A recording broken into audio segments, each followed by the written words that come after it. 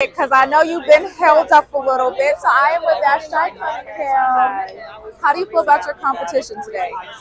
You know, I feel blessed. I'm always going to feel blessed. I didn't jump exactly how I wanted to, but to God be the glory forever. Always, and that's why I'm because God always got you. Yeah. And we have USA's coming up. So how are you prepping for USA's? Um, reading my Bible a lot. I've been praying a lot. I've been training a lot, eating right, not really doing nothing outside of, you know, going outside or nothing like that. I'm just trying to focus and have my mind and my heart in the right place. So you're not outside. I'm not outside. You've been in your Bible. Can I ask you your favorite Bible verse? I have too many Bible verses that are my favorite, and but right now I'm reading.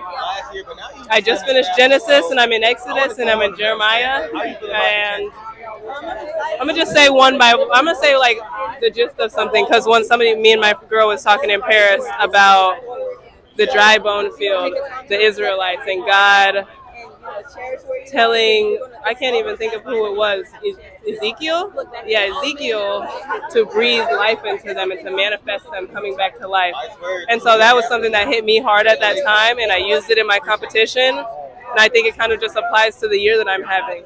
So yeah. And you got a family of jumpers. Yeah. And I've been seeing little sis. Yeah. So what are your thoughts on little sis coming into the sport? I mean, she's been in the sport. She's just had a few, you know, ups and downs like all of us have as professionals in college.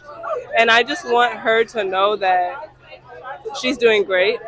I want to know that through everything she has pushed and persevered and that she will end up on top and to chase my records down. Period. I mean, you guys are copy and paste. It's crazy. So if y'all yeah. haven't seen them, oh, yeah. go go look it up because they are all copy and paste, and y'all are beautiful. My last thing is, with the state of high jump, how do you think we can amplify it to make sure the future is still getting the help and resources they need? Probably put our event closer to the main events. We always come out here so early. Um, a little bit more TV time, a little bit more love with the athletes. You know, there's a lot of things we can fix in track, and I can't hit them all on the head right now. You know that. yeah, yes, I definitely know that. Yeah. I think those are good points, though. Yeah. Best of luck the rest of the season. Thank you.